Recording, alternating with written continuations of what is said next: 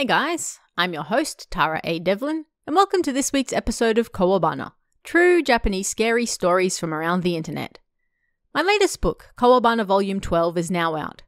Collecting even more of your favourite stories from the show, you can find creepy ghosts, abandoned buildings, haunted shrines, fascinating monsters, and much, much more. You can find that on Amazon right now and help support the show at the same time. This week, we're looking at some bizarre mysteries that will have you questioning what's going on and the spine chilling truth behind them. First up, a university student notices something odd outside his part time job, but soon realizes that in doing so, he's now put himself in danger. Find out why in Ignore Them.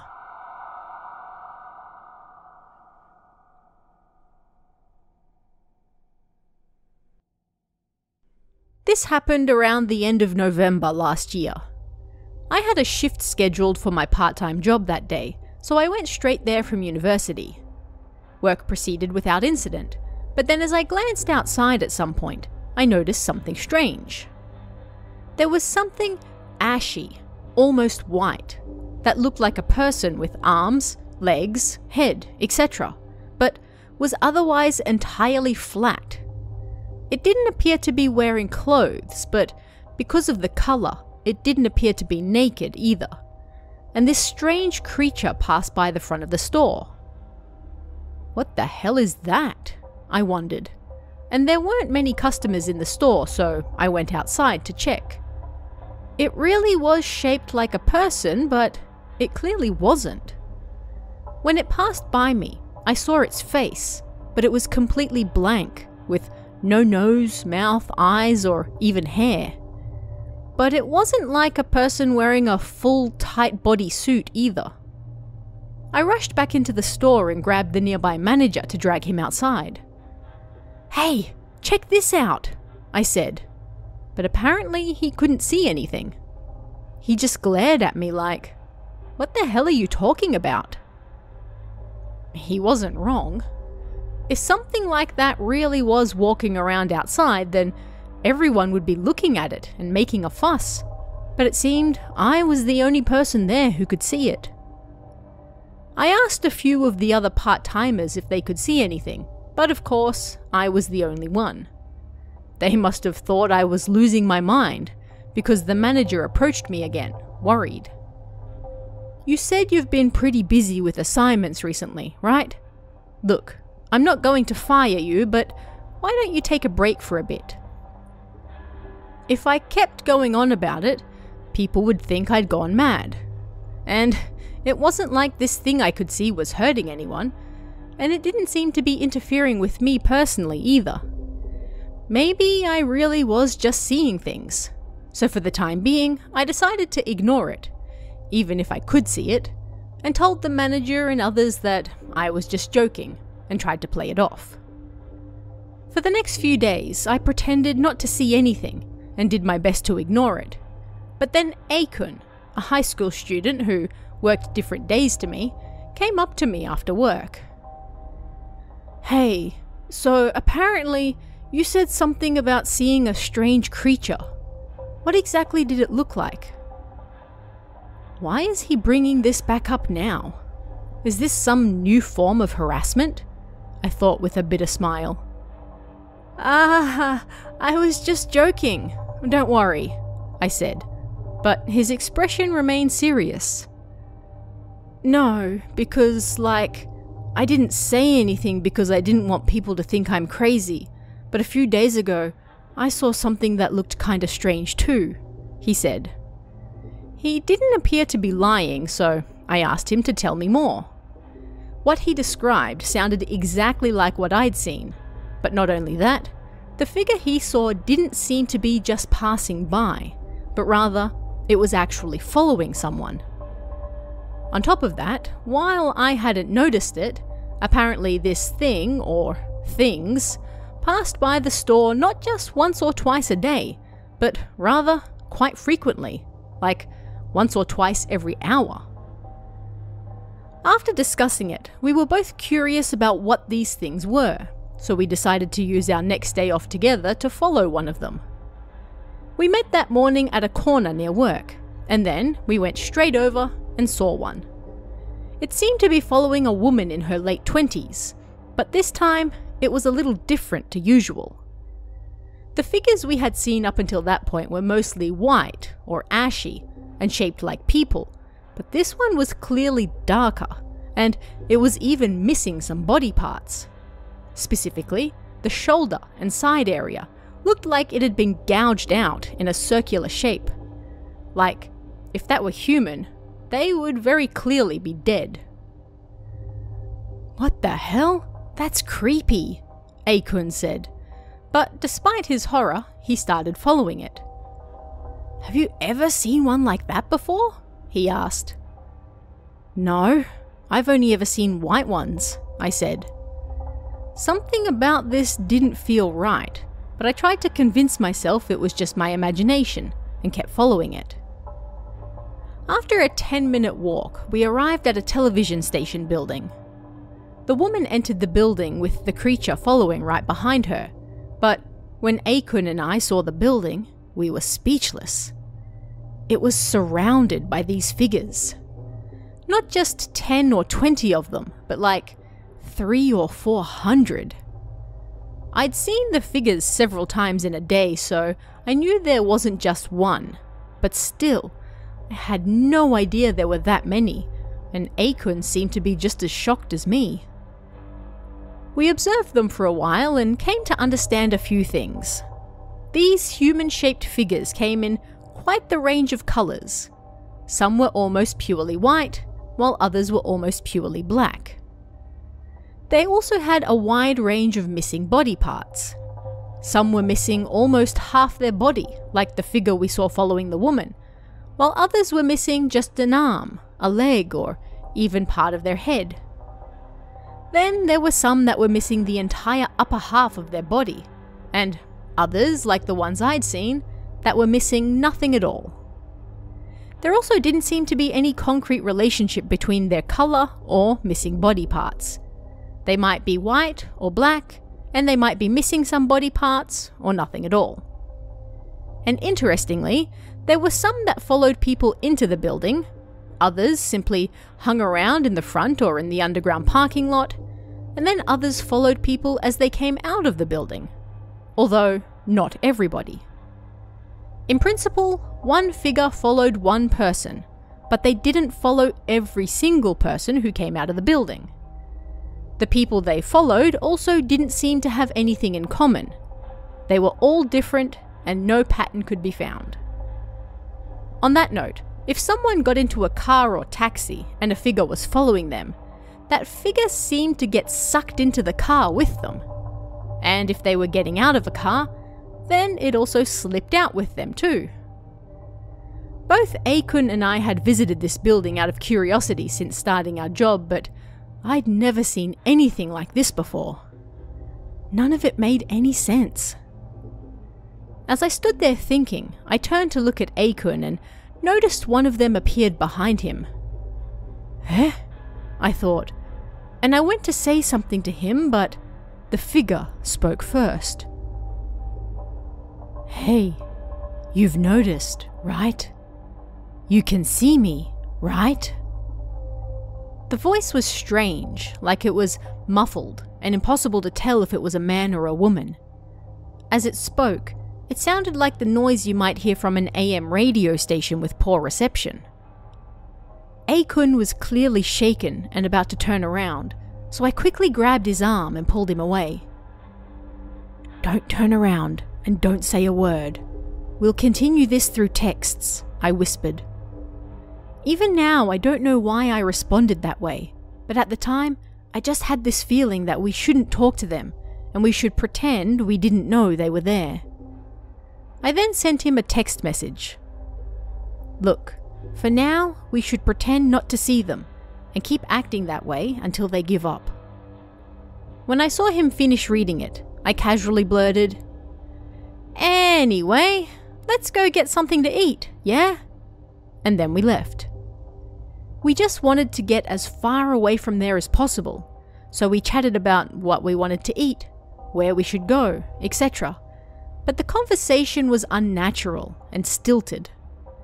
we continued forcing the conversation, starting and stopping, and in between, the thing following us would interject. Hey, you can see me, right? You've noticed me, right? Don't ignore me.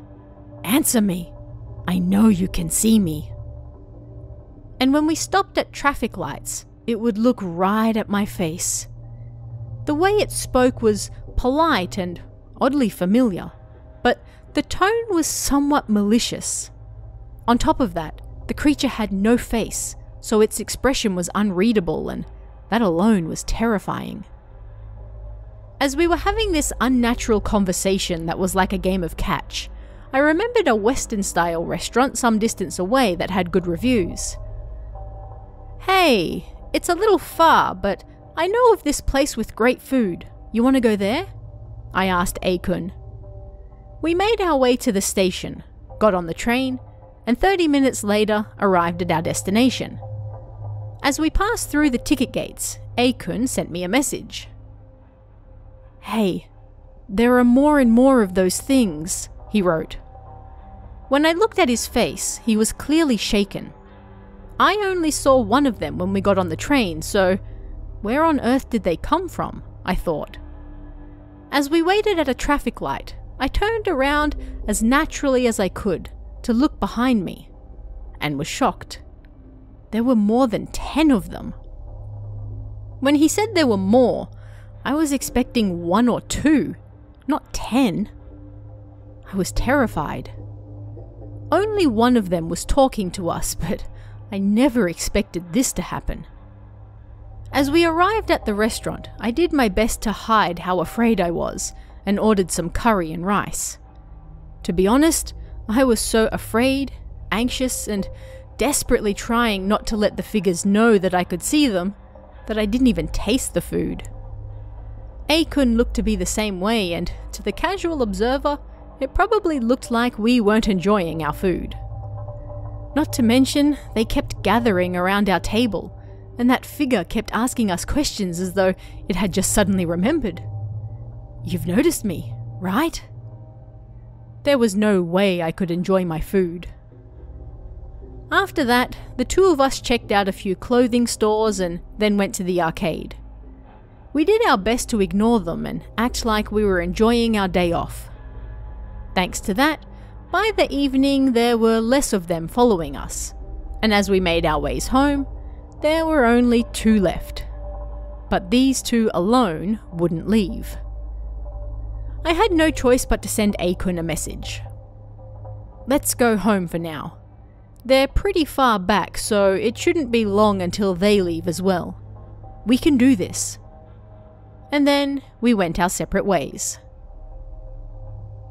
As expected, once we parted ways, the two figures behind us also split up, and each followed one of us. When I got back to my apartment, it also followed me inside, as I expected. You've noticed me, right? It kept saying. By this point, I was getting more annoyed than scared, but I was afraid of what might happen if I answered, so I continued ignoring it. Maybe it would get annoyed soon too and leave. When it was almost time for bed, it did seem to get angrier and its questions more persistent and upset. You've noticed me, right? Answer me! But when I got into bed and turned the lights off, it seemed to finally give up. So you haven't noticed. Jeez, it said, and then disappeared from the room. Relieved, I was about to fall asleep when suddenly I got a call from Akun. It seemed the creature had disappeared from his house as well, and he was extremely happy. It's finally gone! How about you? he asked, sounding like he was almost in tears. The relief was so much I could hear it over the phone. I wasn't satisfied that it was over yet, though. Akun, calm down. We don't know what's going to happen yet, so we need to be careful, I said. No way! It's all over now, he said. But before it disappeared, it said something strange like, If you have noticed, then. I couldn't make out the last part, but the moment he said it, I heard a gasp on the other end of the phone, and then the line went dead. Seriously? I thought, and I quickly tried to call him back, but no matter how many times I tried, he didn't pick up. I had no idea where he lived, so there wasn't anything else I could do. But it wasn't like I could go to sleep in this state either, nor could I rest not knowing whether those things were really gone or not. So instead, I played games and browsed the internet until morning. And because I still had some time before lectures that day, I went straight to work to ask them for A-kun's address. When I arrived, I told the manager that A-kun was acting somewhat strange the night before, so could they give me his address so I could check up on him? Oh no, apparently he was pinned under a collapsing bookshelf last night and he's in the hospital now, the manager said. It's not life threatening, but his mother called to say that he won't be in for a while. Instead, he gave me the name of the hospital he was in and his room number.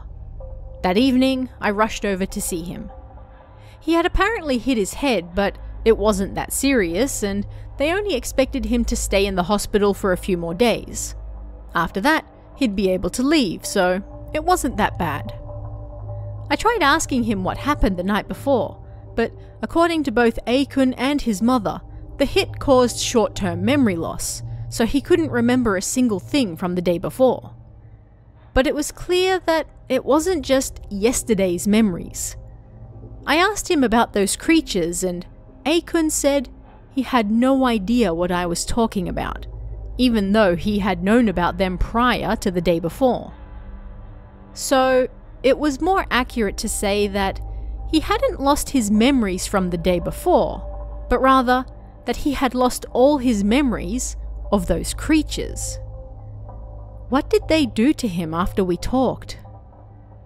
But other than that, there was nothing odd or strange about him. He was the same A-kun he always was. Oh yeah, he was able to leave the hospital three days after that, and he quickly returned to work as well.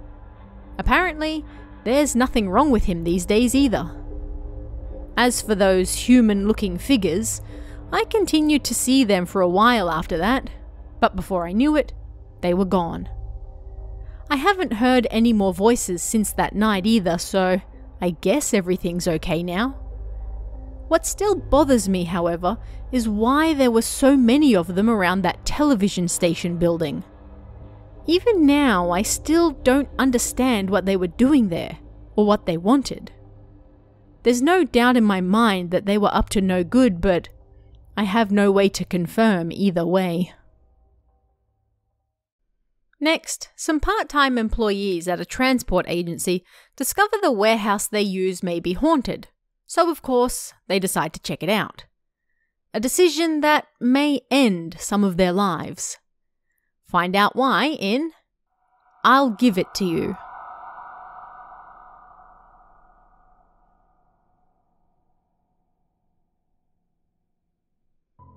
This happened more than 10 years ago, when I was a university student. I worked as a sorter and assistant for a small trucking company near my parents' house. The man in charge of the site was the president's son, who was two years older than me, and I also worked with another guy from the same university as me, A-kun. He was, by his own admission, a bit of a fool, but he was always bright and cheerful, and a great colleague. The company was located alongside a national highway on the outskirts of town, but it also had a warehouse near the shopping district in the next town over. I say warehouse, but really it was just a regular two story house. The first floor was a wide open space with a dirt floor, and apparently they used to do business there several years earlier. But the owners had to close due to debt, and the transport company then snatched it up. However, they had no immediate use for it, so it kinda just sat there. Anyway, one day the president's son happily showed me some photos.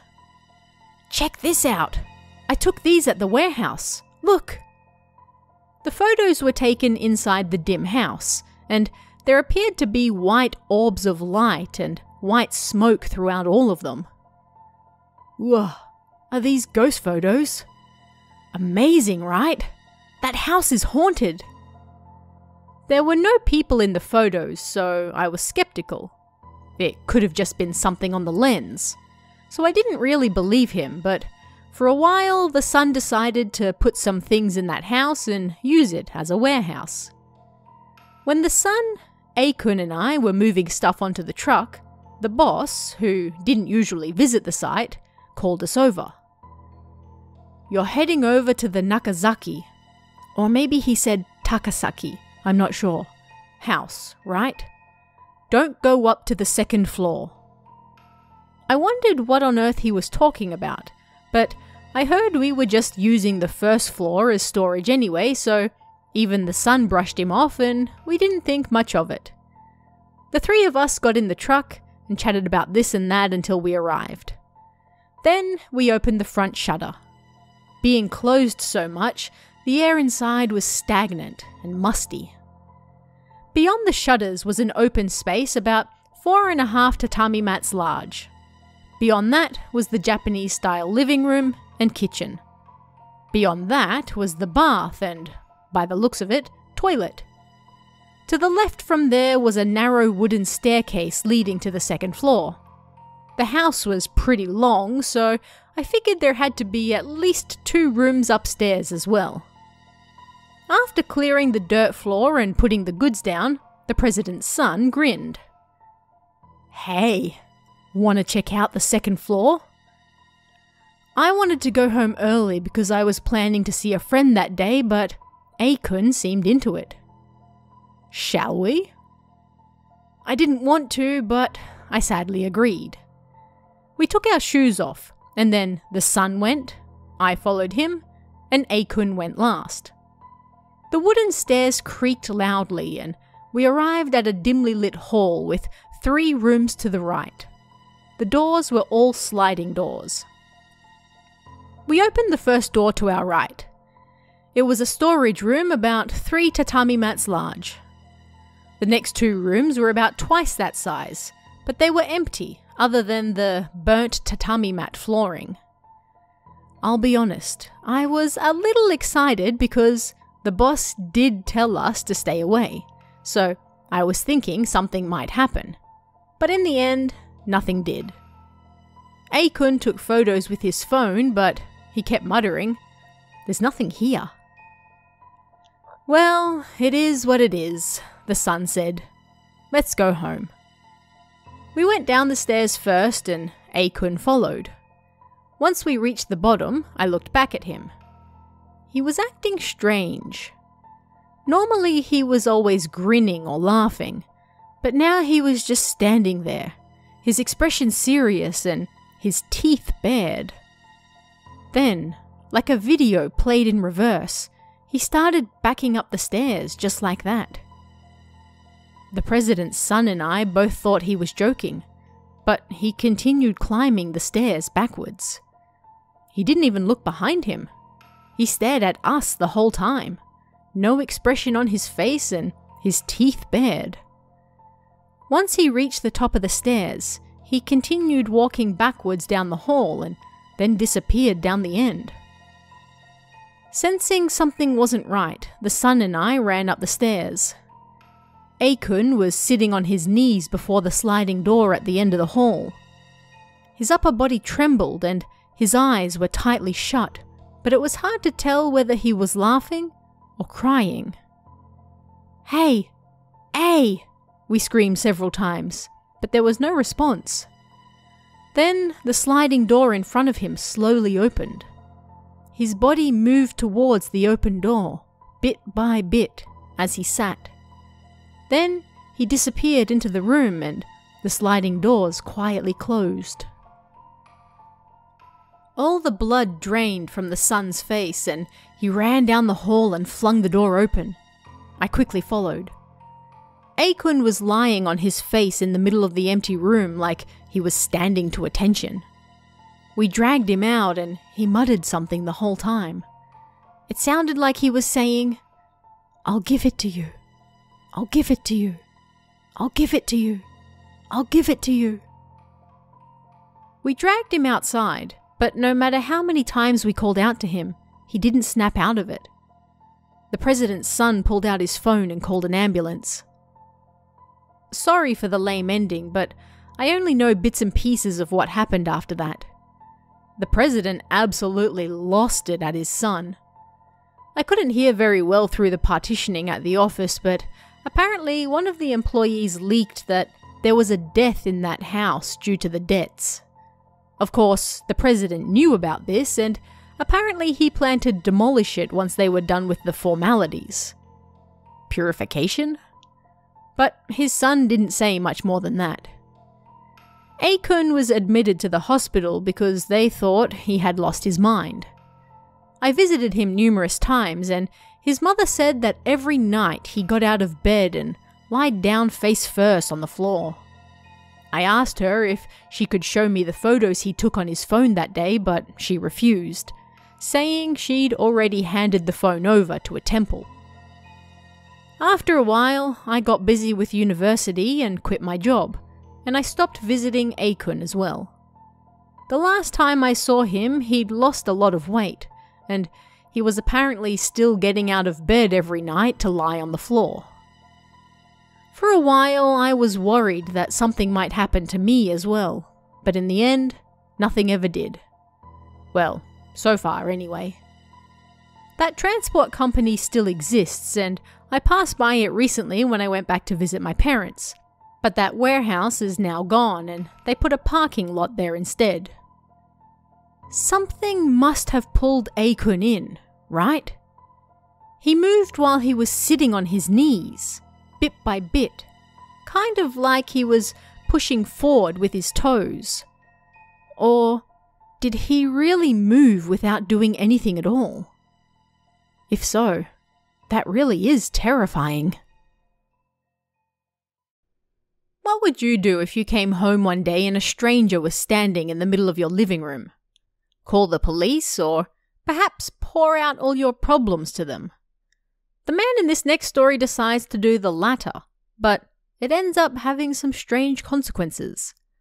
Find out why in Man in the Room.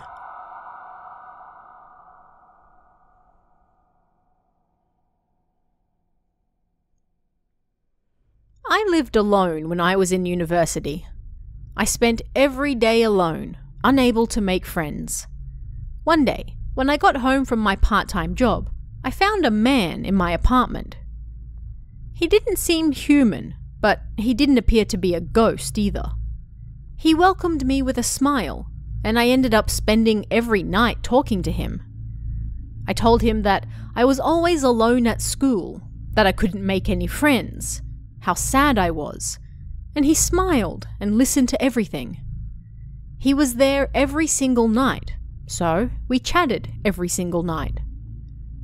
One night, he reached out and tried to touch me. Next thing I knew, it was morning. My phone was ringing, but I didn't know the name of the person on the display. Confused, I answered it.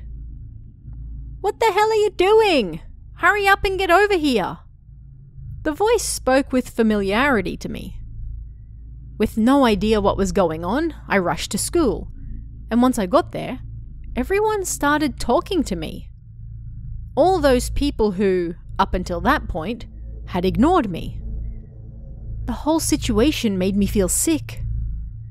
But then someone calling herself my girlfriend showed up.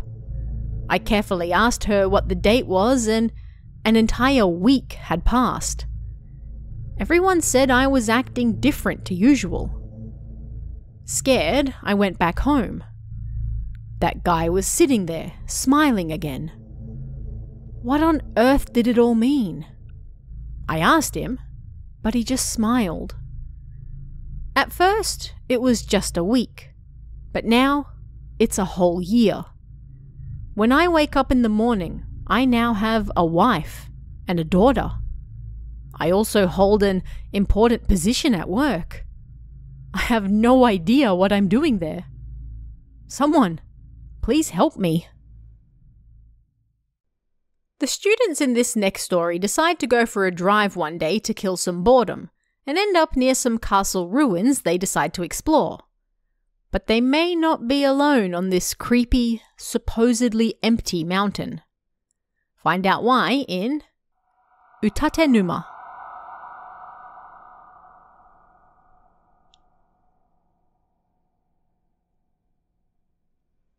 This happened about 10 years ago, when I was still a student. At the time, my friend A bought a cheap second-hand car, so we often went out on drives with a group of regular friends, and this is something strange we once experienced.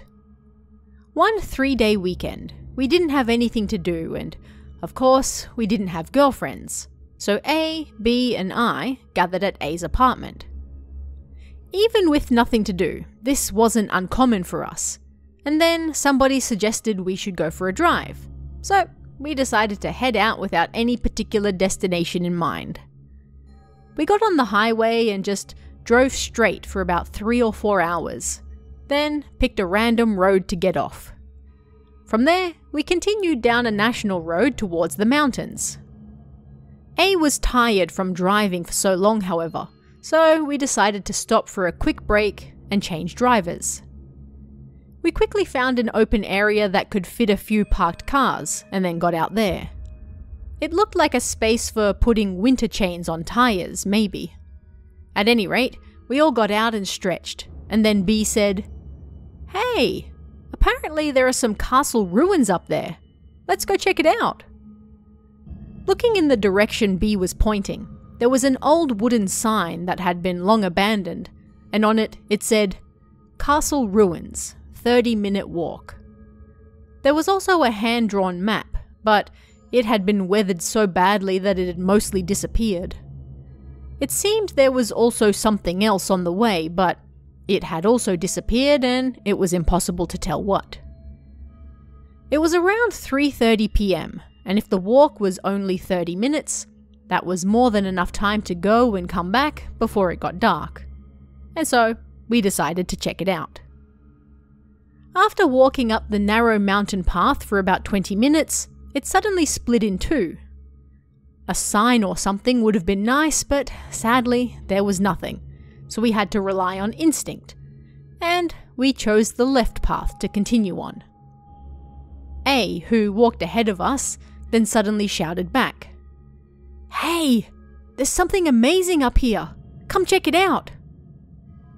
We rushed over and saw a stone staircase, but at the top wasn't some castle ruins. Instead, it appeared to be a long abandoned temple. The main hall was still intact, but the bell tower and other buildings had all collapsed, and it was hard to tell if there was a gate, fence, or even bell there to begin with. Either way, we didn't spot any. Weeds had grown between the stone pavement, and the area that should have been gravel was also long overgrown with weeds. Strangely, while it was clear that the temple gate and such had been removed, the rest of the temple had been left behind and was in a decent state of decay. Checking the time, there was still plenty of time before sunset, so we decided to have a quick look around. However, after walking around the area, I didn't see anything of interest, and there was no visible path that led further in either. We probably should have taken that right path, I said to A. But then B, who was looking inside the main hall, suddenly screamed. We turned to look and the door was open. We asked him what happened and he said he tried to open it and it did so easily. Inside there was wooden flooring, but not much else, and at a glance it was pretty clean. We went in and the floor was pretty dusty, so it was clear nobody had been inside for quite some time. As I looked around, I then noticed something on the floor. Approaching it, it was an old, wrinkled, and yellowed piece of Japanese paper with something written in beautiful brushstrokes Utate Numa. Curious, A and B came over to look at it as well, so I showed them. What the hell is Utate Numa? I asked, but neither of them seemed to know. Numa? There was no swamp or pond or anything near the temple. At any rate, there was nothing else inside the room, and I had no idea what Utatenuma meant, so I put the paper back down and we left the temple grounds to go find the castle ruins instead. We returned down the path, took the right one at the fork, and then soon found ourselves at the top of the mountain. There was an old sign stating we were at the inner circle of the castle ruins, so it seemed we'd found our destination. The summit was fairly open with a great view of the city below. It was a pretty nice spot. And when we looked down, we could see that abandoned temple from earlier. As we chatted about how large the temple grounds looked from up here, I realised something. There was a large black hole, probably a few metres in length, at the edge of the garden that I didn't see when I was looking around earlier. Wait, was that always there? I asked. A small animal came running out of the bushes, and as soon as it did, the hole seemed to move and the animal disappeared into it. What we'd just seen didn't make any sense. Did that hole just move? What the hell? I was in shock, but it wasn't over yet. The hole then floated in the air at a pretty high distance and then started moving. It was then that I realized it wasn't a hole. It was some flat, pitch black object that I didn't really understand. That flat object floated quite high and then started making its way towards the path we had just taken to the top of the mountain. At that moment, perhaps startled by the movement, a large bird flew out of a nearby tree and hit the floating object. Yet the bird didn't fall, nor pass through it. It just disappeared. I had no idea what it was, but either way, it was clearly dangerous, and it was coming towards us. That much I could tell. We had to get out of there right away. But then the three of us realized something. That thing was climbing the path we had taken, which meant that if we went back, then we'd run straight into it.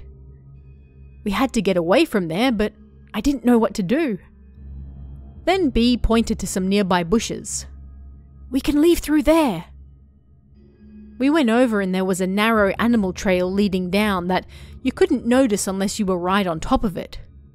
But we didn't know where this path went, and it was going in the completely opposite direction from where we'd come from, so even if we did escape, it would take us far from the car. A and B seemed to realize this as well, and as we hesitated, suddenly my ears felt strange. The best way to describe it is like when you're driving up the mountain and then your ears feel different from the change in air pressure. A and B seemed to feel the same thing, and then I looked back down the mountain. That thing was right there, on the flat area that used to be the castle's outer citadel. There was no time to debate anymore. I told the other two that it was right there and then ran down the animal trail right away. They quickly followed, and as we ran through all the bushes, I heard A yell from behind me. Crap! It's right behind us! I looked back and that black thing was maybe only 10 meters behind us. The three of us stopped pushing through the grass and bushes and ran down the animal trail as fast as we could. I'm not sure how long we ran for, but eventually we spotted a paved road through the trees. Covered in mud, we frantically tumbled down the mountain and then found ourselves finally at the road. Then, suddenly, there was a metallic ringing in my ears and then a loud sound behind us, like an explosion. Surprised, I turned around. That black thing wasn't there, but instead, there was smoke in the air like something had exploded. We were shocked. After that, we got lost on the mountain road for quite some time. It was pretty dark and there were no houses, and by the time we finally got back to the car, it was fully dark. In the end, we never figured out what that thing was. We didn't dare go back there again after what we experienced because, well, what did we have to gain from it? Finally, Pilgrims seem to keep getting lost in Shikoku, despite signs and locals helping out. But why? Find out in Sign.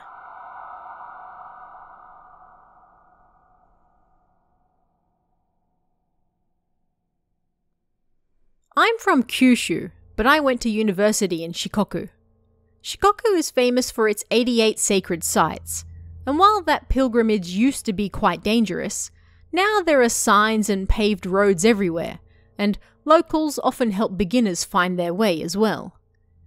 However, there are sections where if you take a wrong turn, you can get lost in the mountains, and numerous difficult sections from the Kochi to Ehime area leading west. One of my older friends from university was from Ehime, and his parents' house was near one of the sacred sites. To reach it, you had to go through a winding path and then up a small mountain. The path at the bottom of the mountain split in two, and you had to take the left side to reach the sacred site, but sometimes people took the right by mistake. Of course, there were signs, but for some reason, some people still got lost. On that note, the right path did eventually lead to the top of the mountain after several forks, but of course, most people gave up and returned before they ever got there. So, when my friend was in the sixth grade of elementary school, an elderly man doing the pilgrimage went missing nearby, and the locals set out to find him. As usual, they searched the mountain from top to bottom, thinking he might have taken a wrong turn at that path, but they were unable to find him, and as night fell, they broke up for the night to continue the next day. When they did find him, he was in a clearly unnatural spot far from the path in a bamboo forest. It was midsummer, so he was terribly weak, and if they'd been any slower, then he would have died. He was later interviewed by police at the hospital, and he gave an interesting account of what happened. When I reached the foot of the mountain, there was a sign with an arrow pointing right, so I went right. After a while, the undergrowth got so bad that I couldn't see the path anymore, but I saw someone ahead of me, so I followed him. He was dressed in a t shirt and shorts with no hat or anything else on hand, but he proceeded without hesitation, so I thought he must have been a local. After about 10 minutes, he left the path and disappeared into the woods. I hurried after him before I could stop myself, but he was gone. Once again, I was alone, so I grew scared and turned back.